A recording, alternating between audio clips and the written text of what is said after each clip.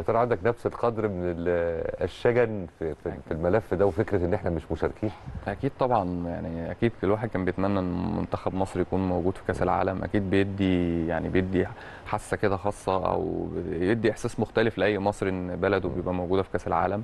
لكن أنا شايف برضو أنا بتكلم دايما فني يعني حتة الفني أنا شايف إن حظنا وحش إن إحنا قابلنا السنغال. آه ممكن يكون في أخطاء في طبعا أكيد في أخطاء إدارية أو كده ولكن أنا شايف فنيا لو مصر كانت قابلت أي منتخب غير السنغال كنا هنبقى نسبة وصولنا أكتر من كده لأن منتخب السنغال يعتبر واحد من المنتخبات يعني هو المصنف رقم على العالم 18 حاليا تصنيفه رقم 18 على العالم.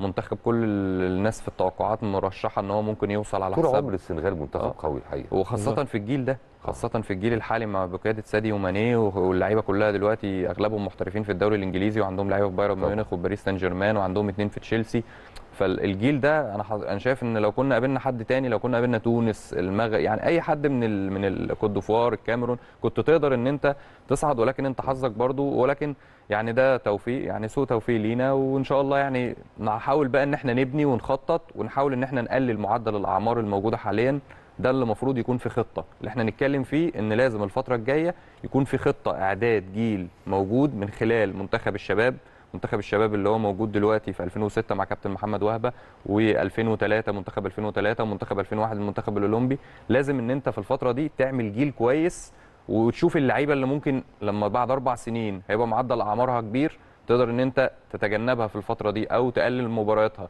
تبدأ إن أنت تدي للعيبة صغيرة حتى لو تدريجيا في المباريات دي في خلال سنين بحيث إن هم لما يوصلوا بعد أربع سنين يبقى عندهم زي ما بنشوف النهارده إنجلترا وبنشوف ألمانيا. وبنشوف وهنتكلم دلوقتي على قائمة اللعيبة أصغر لعيبه في في المونديال